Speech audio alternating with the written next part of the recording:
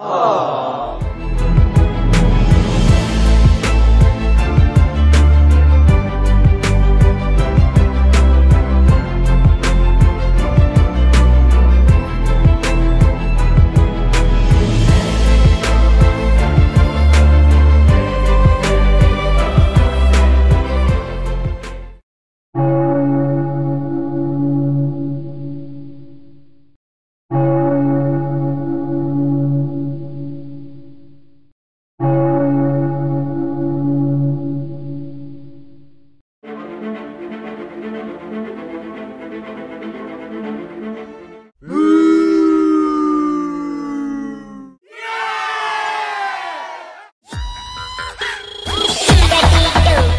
FC Winterthur verliert 1 zu 2 gegen GC.